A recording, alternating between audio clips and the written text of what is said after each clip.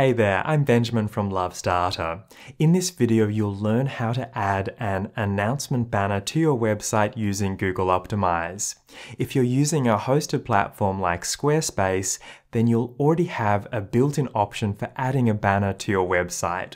So you might be wondering why you'd want to use Google Optimize to do this.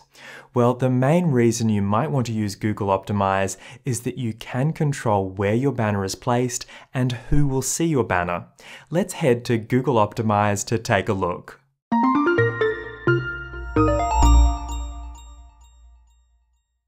To create our banner, we can select Add a Banner or we can select Create Experience. Then we need to name our banner.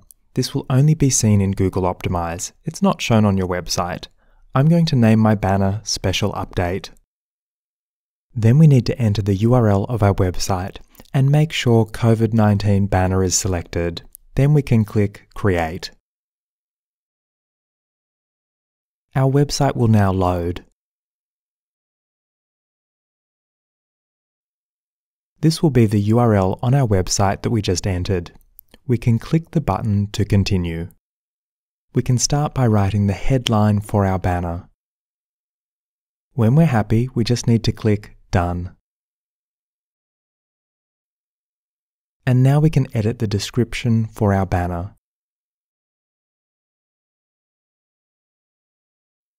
Again, when we're happy, we click Done. We can now edit the text for our link and click Done. And then we can enter the URL for our link.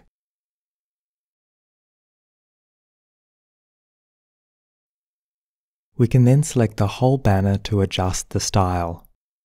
Scrolling down, we can adjust the style for the type. And we can also adjust the background color to match our website. When you're happy with the banner, it's time to click Save.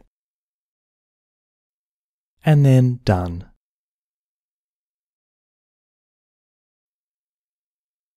By default, the banner will show on all the pages of your website. This is controlled by the page targeting. We can see that the banner will show on all pages where the host name is the same as the domain for our website. So this will be all of our pages. If you only want the banner to appear on certain pages, then you can adjust the targeting. For example, if you only want the banner on your home page, then you can edit the targeting. And then select URL matches.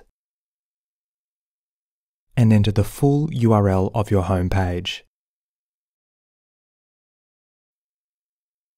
We can check that our targeting will only match the pages that we want.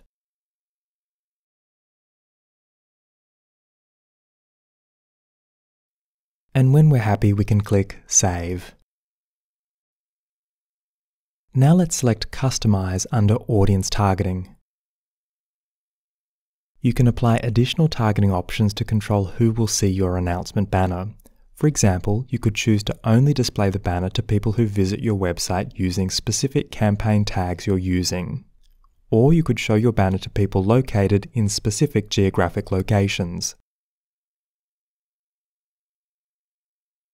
This gives you additional flexibility in the messages you present to your audience. You could even create different banners for important audience segments. I'm going to present my banner to everybody viewing my homepage, so I'm going to close this panel. Then when you're ready, you can click Start and your banner will now appear on your website. That's it.